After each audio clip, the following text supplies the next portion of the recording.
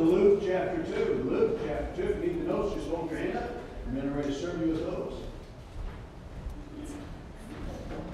I don't think we may get done with it tonight, I'm not so sure. but We will see. We've got till next year. Luke chapter 2, if you need notes, just hold your hand up. I'm going to ready to serve you with that. Lessons on Christmas Character Part 2. Character, Part 2. Looking at some of the major characters in the Christmas story and taking just two aspects of their character, just two aspects that we see from the, the Scriptures to help us to look at their life. I'm glad God gives us the lives of the people to study, both the good parts and sometimes the not so good parts of their lives so we can be on guard. But in the Christmas story, we find mostly God is dealing with just the good of these folks in the Christian Christmas story. Luke chapter 2, beginning in verse number 22. Luke 2, 22. Let's begin in verse 21. Luke 2, verse 21.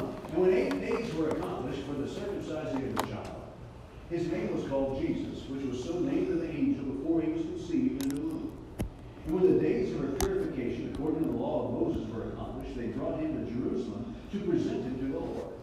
As it is written in the law of the Lord, Every male that openeth the womb shall be called holy to the Lord. And to offer a sacrifice according to that which is said in the law of the Lord, a pair of turtle doves or two young pigeons. And behold, there was a man in Jerusalem whose name was Simeon. And the same man was just and devout, waiting for the consolation of Israel. And the Holy Ghost was upon him. And it was revealed unto him by the Holy Ghost that he should not see death before he had seen the Lord's Christ. And he came by the Spirit into the temple.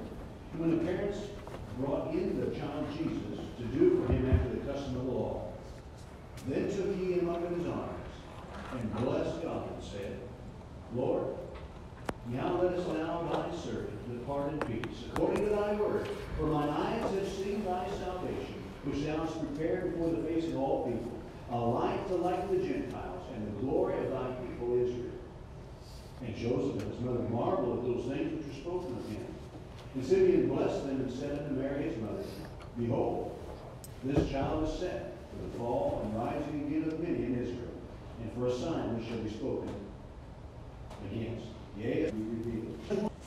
She was of great age and had lived with the husband seven years from her virginity, and she was a widow of about fourscore and four years, which departed not from the temple, but served God with fasting and prayers night and day. And she coming in that instant gave thanks likewise unto the Lord, and spake of him to all them that looked for redemption in Jerusalem. And when they had performed all the things according to the law of the Lord, they returned to Galilee, to their own city of Nazareth. And the child grew and waxed strong, and the Spirit filled with wisdom, and the grace of God was upon him. Father, help us tonight, Lord, as we look at just some people that you've revealed to us, some insights you've given to us of these people. You've recorded for our instruction. You've recorded for our edification. You've recorded for us to help us. Lord, I pray that you help us tonight as we look at this. Lord, you've already spoken to me, as you always do. But as we look at these characters and the character of these people, we might be changed, we might be encouraged, we might start the week or continue the week and start the new year a little stronger than we would otherwise. In Jesus' name we pray. Amen. Thank you, Nancy. Again, looking at the character of these folks, that we can be such that God can use us, that we can be vessels ready in God's hand, that we can be used like God would want to use us. By way of review, uh, we saw Sunday as we looked at these folks, this Christmas character and how to have this character. We saw Mary, first of all, was a had character of purity and submission. Purity and submission. I hope you haven't forgotten that. God looks to his people to be pure. God looks to his people to be right. God looks for his people to keep themselves clean and true. But also a, a heart and a character of submission. Submitting yourself to the Lord and submitting yourself to her husband. So Mary's a wonderful character trait for us. Then we saw Joseph. Joseph, we saw by way of review, he was a man of patience. Patience. He waited on God. Tragedy came to his life, at least as he saw it at that point, as his spouse's wife was pregnant with a child. He knew it wasn't his. It was a man righteousness and holiness that she was supposed to be. And here she was with child. But instead of immediately going out and stoning her or sending her away, he thought on those things. He waited on God. And then we found his security. He was a man of security. He was secure in his Lord. But God said he did, and that was enough for him. When God says, and that's enough. I can follow God. I can obey God. I will do what he wants me to do in spite of what challenges may come, in spite of what others may say, in spite of what others may look at me as. I'm just going to follow God. Boy, that is a wonderful trait for all of us. We would just be secure in God. You know, unless you want to be here and come bring in the new year, I need you to talk back to it, all right? A little amens as we talk about it. So Joseph, a man of patience and security. And then we saw the shepherds. The shepherds were people that had character of position. In other words, divine position. They were in position God placed them. And then they were in position by duty, just doing what they were supposed to do. And then we saw they were also had characters of soul winners souls proclaiming the word. Well, tonight we're looking at two, maybe three others tonight, but we'll see how the Lord allows us to go. Number one, we're looking at Simeon. Simeon. And God doesn't tell us a lot, but there's a lot there about Simeon that we can glean from it, that we can look at our own lives. First of all, in Simeon, we see his character was prophecy founded. His character was prophecy founded. In other words, his character was based around prophecy that God had revealed to him. Look again, if you would, at verse number 25. And said, Behold, there was a man in Jerusalem whose name was Simeon, and the same man was just and devout, waiting for the consolation of Israel. And the Holy Ghost was upon him, and was revealed unto him by the Holy Ghost that he should not see death before he had seen the Lord's Christ. Simeon got his prophecy from two places. He got it from the Scriptures. Because we know he was looking for the consolation of Israel. He was looking for the Christ. That's what it's referring to. So he was looking for the Christ that God had promised that as all Jews were looking for, for him. So he got it from the scriptures, but he also got it from the Spirit. Because the Holy Spirit told him, he says, you're not going to die until you see the Christ. We don't know when he saw, when he heard that. We don't know when the Holy Spirit told him that. It could have been days, weeks, months, years before Jesus showed up there in the temple. But he knew. So the Holy Spirit revealed it to him and the scriptures reveal it to him. For us, we get prophecy from one place. That's the scriptures. That's from the scriptures. We get it just from that. First Peter 1, verse 18. As Peter was telling people, he said that he, how he had been there on the Mount Transfiguration. He heard Jesus. He saw Moses, saw Elijah. He said, I heard the voice from heaven speaking about Jesus Christ. He said, I heard it with my own ears. So in 1 Peter 1.18, he says, and this voice, which came from heaven, we heard when we were with him in the Holy Mount. We have also a more sure word of prophecy. He says, more than our ears, more than what we heard, more than what we saw. Whereunto ye do well take heed unto a light that shineth in the dark place until the day dawn, and the day star arise in your hearts, knowing this first, that no prophecy of the Scripture is of any private interpretation. So we get our prophecy, our look at the future from the scriptures. Aren't you glad we're still in the book? We, we see many Old Testament prophecies and some New Testament prophecies come, were given, and fulfilled. But we see also those prophecies are yet to be fulfilled. So we're looking for those things. So we have prophecy yet to be fulfilled, just as Simeon had prophecy yet to be fulfilled, looking for the Christ, looking for the Messiah, looking for the consolation, and knowing he was not going to die before then. So he had the scriptures and revelation of the Holy Spirit. We have revelation of the scriptures by the Holy Spirit, but nothing new outside of the scriptures. Now, what's vital for us to understand then is we have in our hands what God wants us to know. And we should let that knowledge mold our character. Not just the history, but what is yet to come. That ought to mold our character. That ought to help us structure our character, who we are and what we're about, because we know the prophecy God has given to us. Just like Simeon, so must we. So, for example, in Simeon's life, his character was reflected in his living. This prophecy was reflected in his living. It says he was a devout and just man. In other words, he lived right. He lived true. He lived holy. Why? Because he was waiting for the coming of Christ. Because he wasn't going to die before he saw Christ. And so his character, this character based upon the prophecy, was reflected in his living. So should the prophecies we know reflect in our living. Our living, we should live based upon what we know what is yet to come. We don't have to live just based upon what happened. We don't have to live based upon what they told us. We can need to live based upon the prophecy of what is yet to come. That's why the Bible says in 2 Peter 3.10, But the day of the Lord shall come as a thief in the night, in the which the heavens shall pass away with a great noise, and the elements shall meet melt with fervent heat. The earth also, the works that therein shall be burned up. He said, we know that's yet to happen. We're still here. The earth is still here. But it's going to be burned up. It's going to be destroyed. It's going to melt away. And he goes on saying, seeing then that all these things shall be dissolved. He says, knowing this prophecy, knowing these things are going to be dissolved, knowing the heavens are going to be destroyed, knowing this earth is going to pass away, knowing that, what manner of persons ought ye to be in all holy conversation and godliness. In other words, just like Simeon, who was devout and just and right and pious because of the prophecies that he knew while he was waiting, looking for the Spirit, the coming of Christ, so we know we ought to live holy and just and righteously in this world because we know what's coming.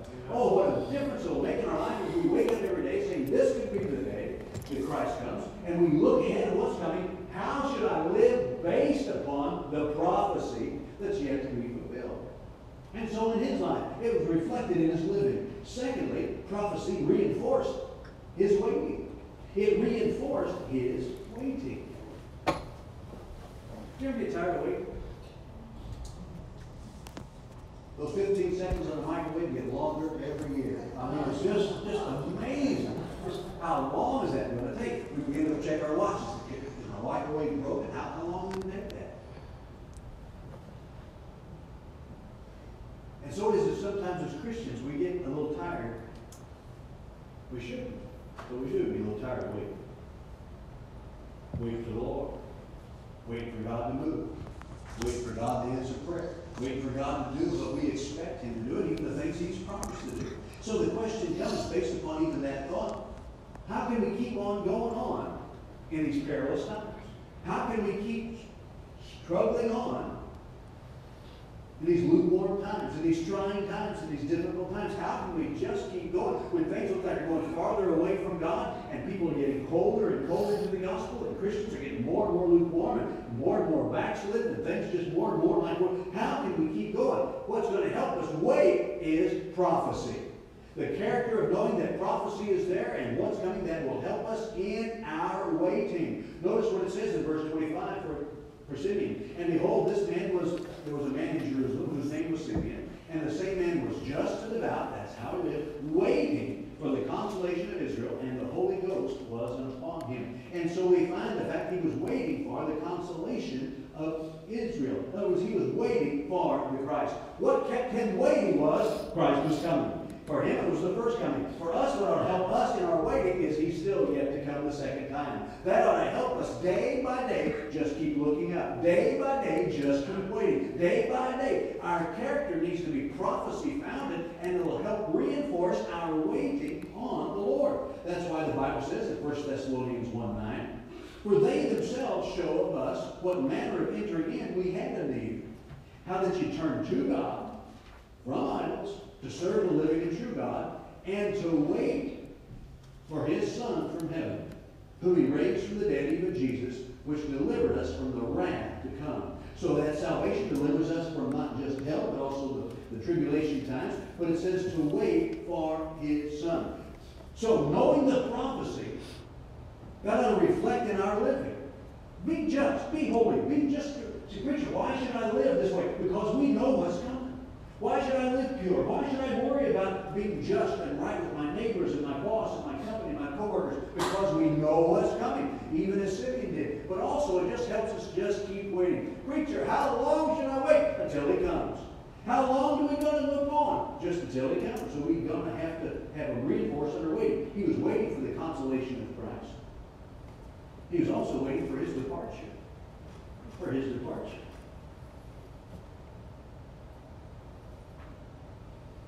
Verse 26. And it was revealed unto him by the Holy Ghost that he should not see death before he had the Lord's Christ. Verse 29. Now he's praying after he saw Christ. He said, Lord, now let us thy servant depart in peace according to thy word. Waiting for his departure. He said, oh, I can go now. I can go now. Our waiting for our end of our life are to be reinforced by the prophecies that we're living for.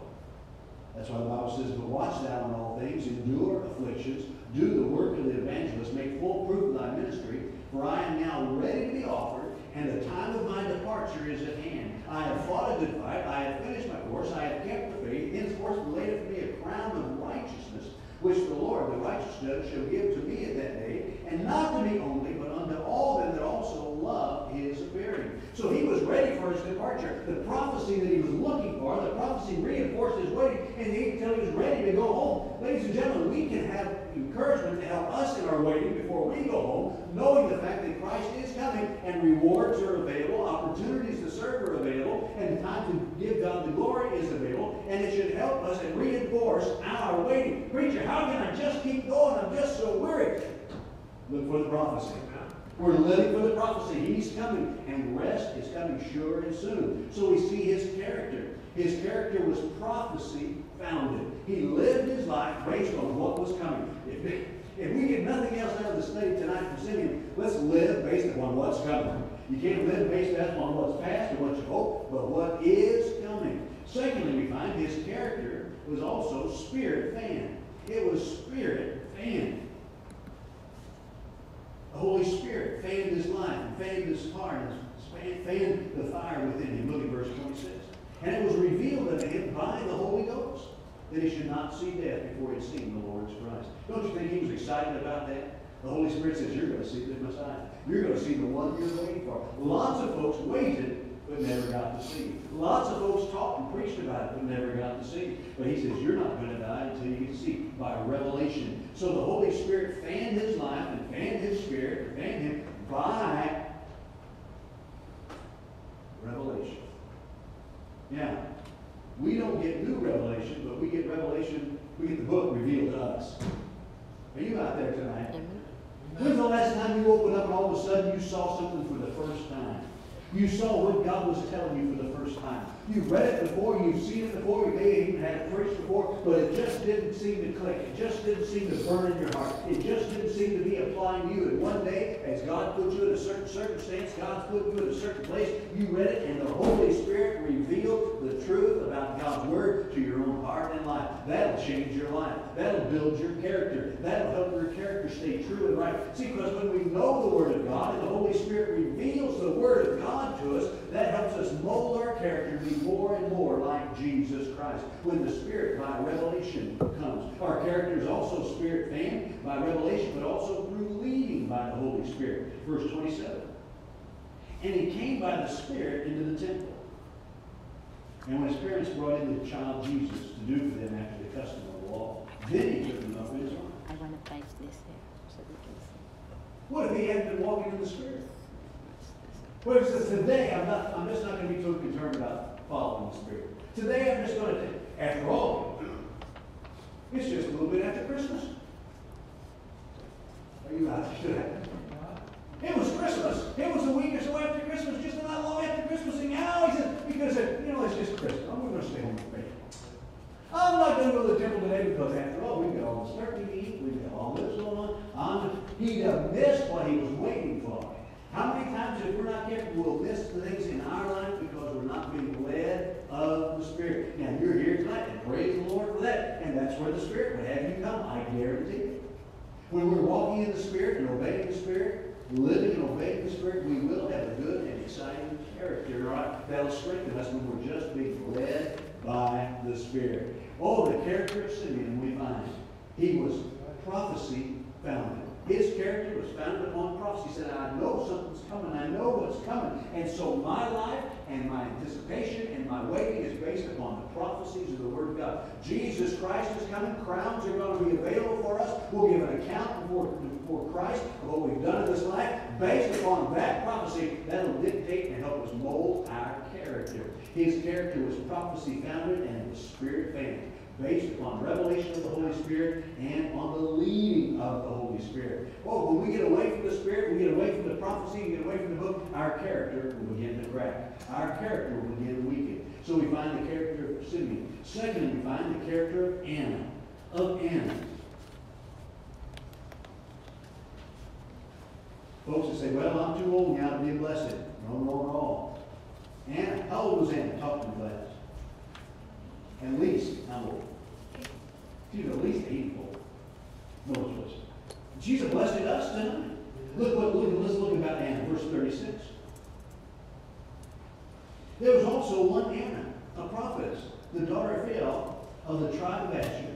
She was of a great age and lived with the husband seven years from her virginity. So in other words, she was a virgin when she got married. She lived with him for seven years, and she was a widow of about four score and four years old.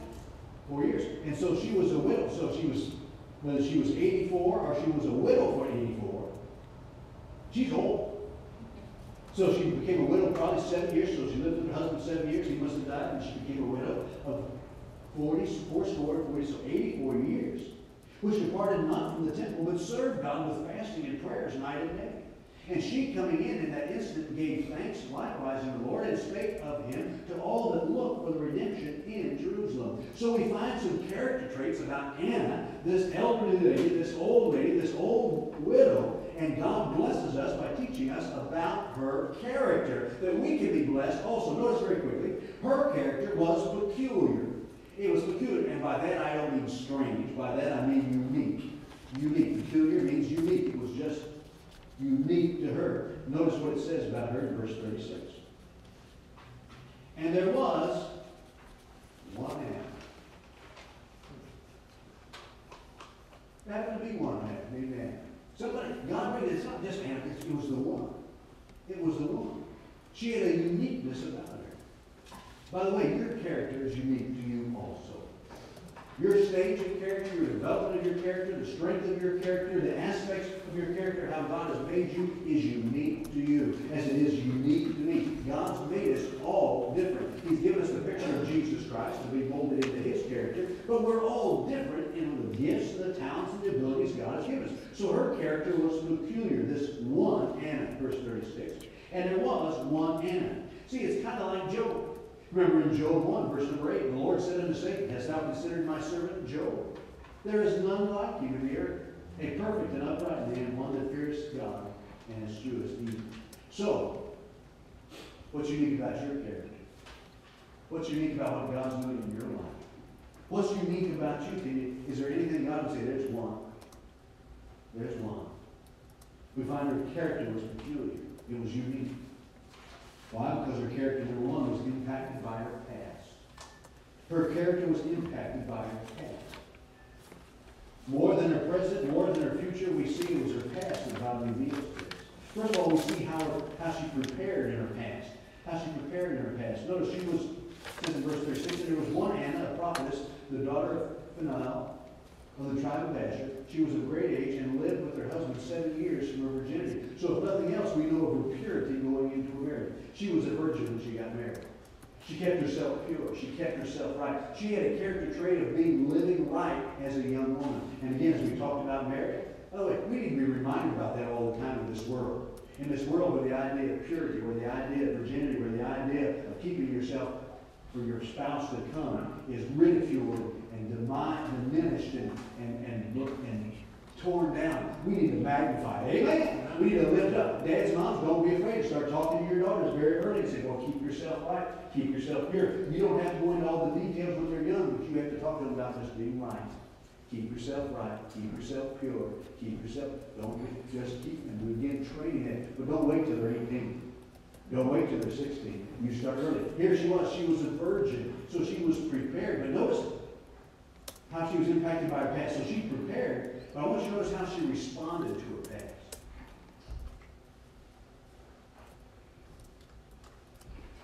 She was of great age, verse 36, and lived with the husband seven years from virginity. So apparently her husband, she was only married seven years before he died. Most folks would look at that and say, that's not fair. Carol and I have been married now over 45 years. Some have been married longer than that. But just seven years. And it's over. A lot of people say, that's not fair, I quit. If that's how God is, I'm not gonna care about it anymore. If that's how God is, I'm not gonna serve him anymore. If that's how God is, I'm just gonna, just gonna stop. But notice what she did. Instead of quitting, she turned her life into serving Christ. She turned her life into serving God. That's her testimony. So her life was a life of service. But her life of service here was in spite of the fact that she was only married for seven years. Only in the fact that somehow her husband died after that. She got widowed, but she didn't quit. She turned her life and heart to serve God. Ladies and gentlemen, when life gives us a tough time, when life gives us things that we don't think is fair, when life brings things in our life and say, I just don't think it's fair, we can either get bitter or better. The whole idea is just trust God. Amen. Trust God knows what He's doing, and then say, Now, God, this is where I am. How can I give you the glory? God, this is how I am. What can I do for you? God, this is what you already placed me. What can I use, do now that I could not do before? We know even the Apostle Paul talked about if you're married, you've got to take care of your spouse. If you're married, you've got to take care of your wife. He said, I wish everybody was like me. In other words, the single said who just gives his entire life to Christ.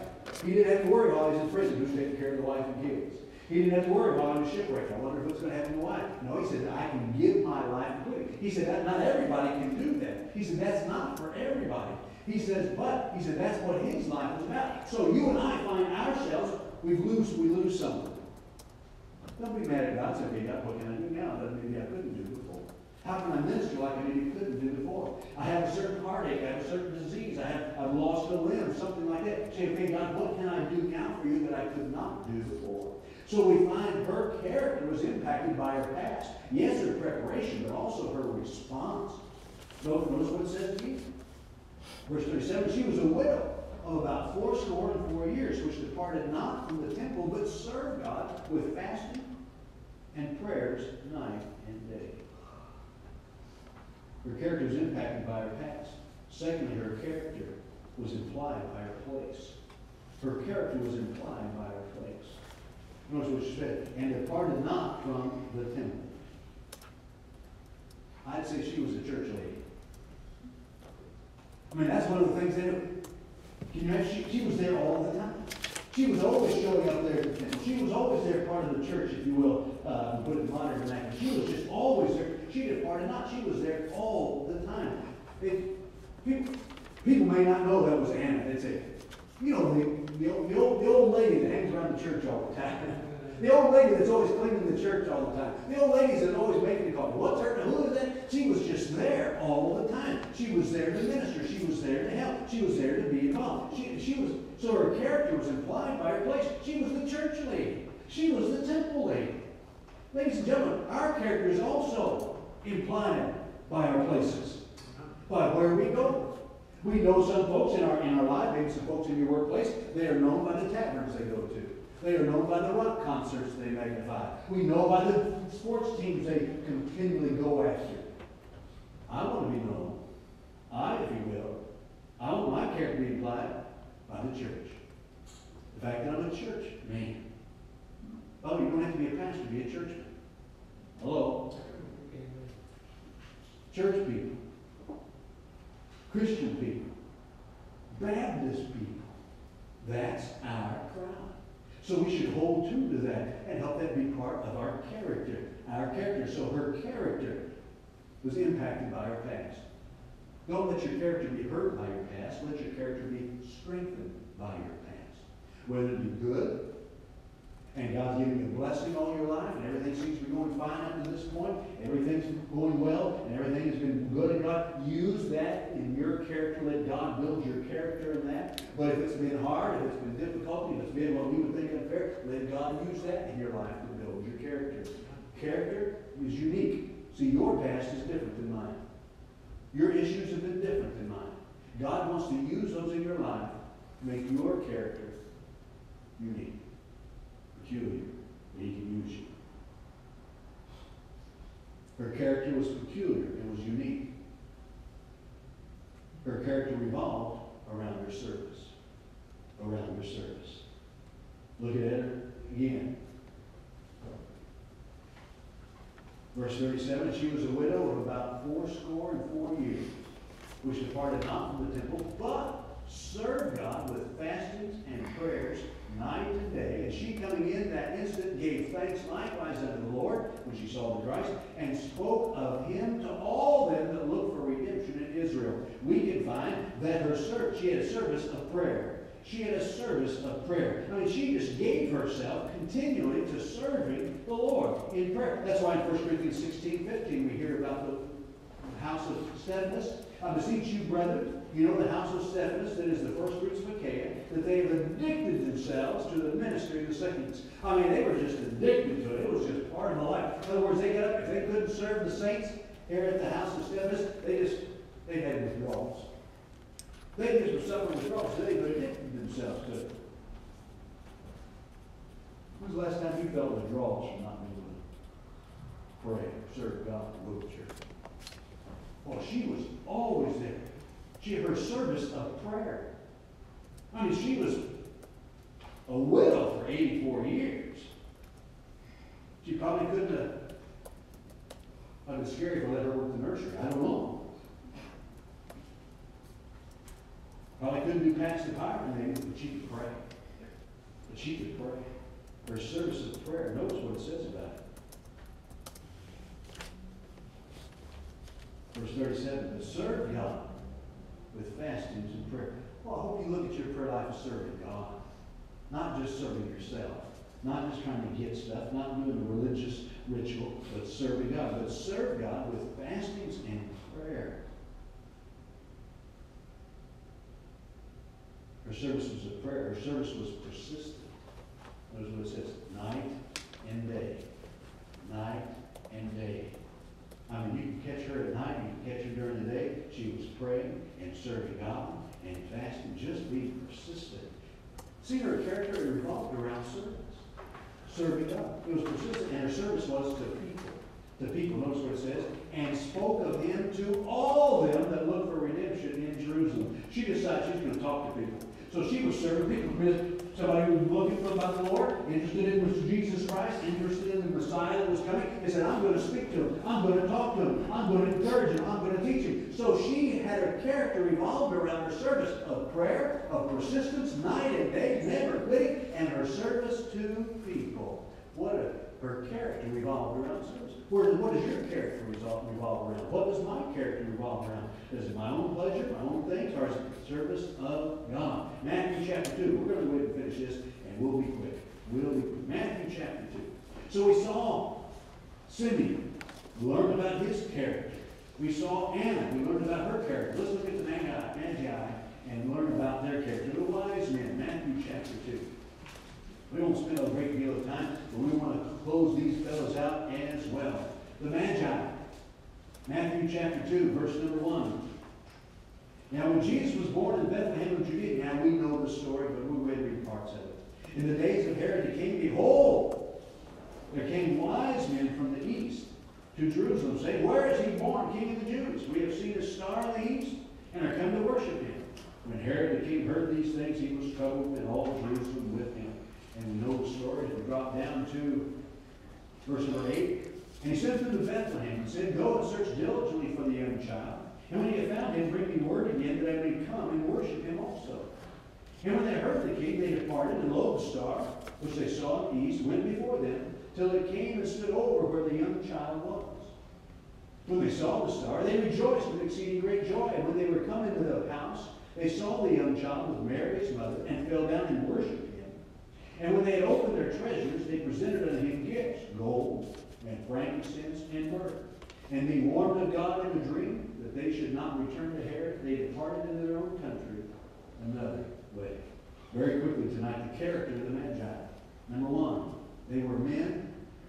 You got to catch this. I have to catch this. Of perception and performance. Perception and performance. Here's the key. It was both. Are you listening to me? It was both perception and performance. They said, We saw and they came. They saw and they came. Talk to class. They saw and then what they do? They came. See, what, how sad it would be. Say, well, we saw it, but we didn't bother.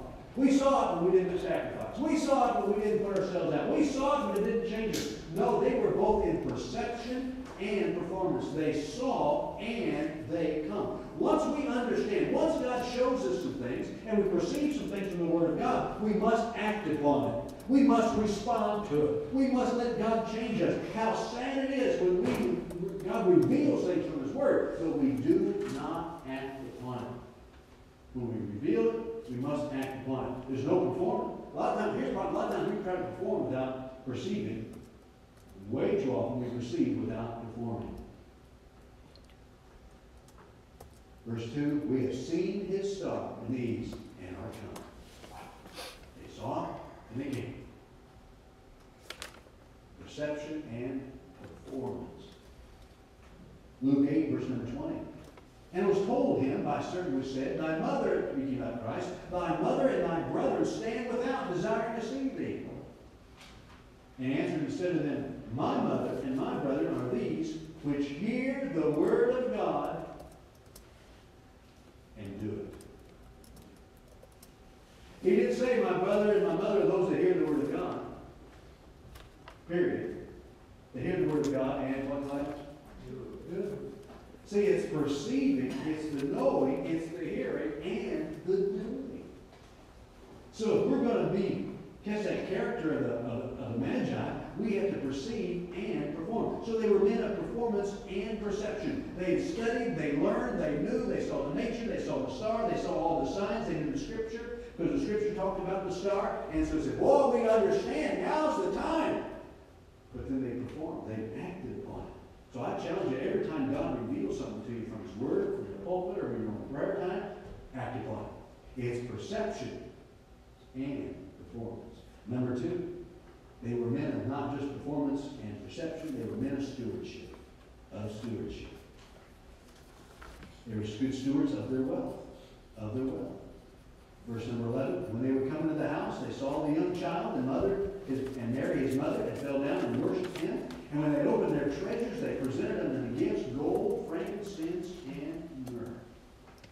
They knew how to, they were stewards of their wealth. They said, here's the King of Kings, here's the Lord of Lords, here's the King of the Jews. And we come to worship him, and in worshiping they gave. They gave of their wealth. Why give? I think it's, in, it's indicated in the gifts that they gave. We're not going to spend a lot of time, there's a lot of lessons in that. They gave gold, that's for royalty. For royalty, they give gold. When people went to saw Solomon, they didn't give him cottage cheese. They gave gold gold. They came and brought him gold. Why? Because he was the king. He was the mighty king. And they gave him gold. And so they gave gold for his royalty. Gave frankincense. That's a reverence of his office for prayer for our high priest out of reverence. We ought to give and be stewards because of the reverence, because of his position, because he's the high priest. And myrrh because of his redemption. Redemption, representing his body, taking care of the body, and purifying the body, preparing the body for funeral, his humanity. So they were stewards of their what class? Wealth. Wealth. Stewards of what class? Wealth. Their wealth, their money, their finances. Number two, they were stewards of their ways. Stewards of their ways. Notice what it says in Matthew 2.12. And being warned of God in a dream that they should not return to Herod, they departed into their own country another way. Number one, they heeded God's warnings. They heeded God's warnings. Remember King Herod says, when you find him, come tell me. I mean, the king, the most powerful king in the, whole area, said, when you find him, you come tell me. Now God says, no, don't you go tell him. He was warned. God gave him warnings. So they were steward of their ways and they went home another way. They heeded God's warnings. There's some character for us. So to heed God's warnings. Don't ignore God's warnings. When God says you do this, you're going to suffer from it. Doesn't do this, you're going to fail. Do this, you're going to get hurt. Do, we better heed His warnings. So they were good stewards of their ways, their life. They heeded God's warning. Number two, they obeyed God's will. More than Herod, they obeyed God. That's why we, as, as the apostle said in Acts 5 29, we ought to obey God rather than men. I guarantee you, over the next few years, if Jesus tarries his coming, we're going to get more and more opportunities to choose to obey God or man. It's just going to get more and more opportunities. And every time we decide to choose to obey man more than God, it's going to be harder next time to obey God. But I guarantee it, the more times we choose to obey God rather than men, the easier it's gonna be to obey God next time. So they had King Herod told them, he says, no. He says, you tell me. They said, no, we're gonna obey God. So they were good stewards of their wealth, but of their ways. They heeded God's warning. They obeyed God's will, and I love this, they changed their own ways. They changed their own ways. Notice what it says. Verse 12 of chapter 2. And being warned of God in a dream they should not return to the Herod, they departed in their own country another way. They changed their ways. That was not their plan. They were going to go back this way. They said, no, I think we're going to let God change how we're going to go home. We're going to change our ways. Change the way we're going to go. They departed another way. Let's let God change our ways. Now, I know a lot of Christians say, no, this is the way I've always planned to do it this way. Not planning on changing. No, not, not, not, well, let God change your ways. Go home another way. By the way, it's always good to come to church and go home another way. To live another way. So tonight, how's our character molded? Is it molded by God? Can we learn from Simeon? Let our character molded based upon the prophecy. What's coming? What's coming? Or we like Anna. Let our character be based on our past the right way. The right. Well, I say, preacher, I didn't come from a good home. All right, let your character. Let God use that. for. Well, marriage didn't turn out right okay? Let God use that like an Anna build your character uniquely. And let's be good stewards. Let God change us.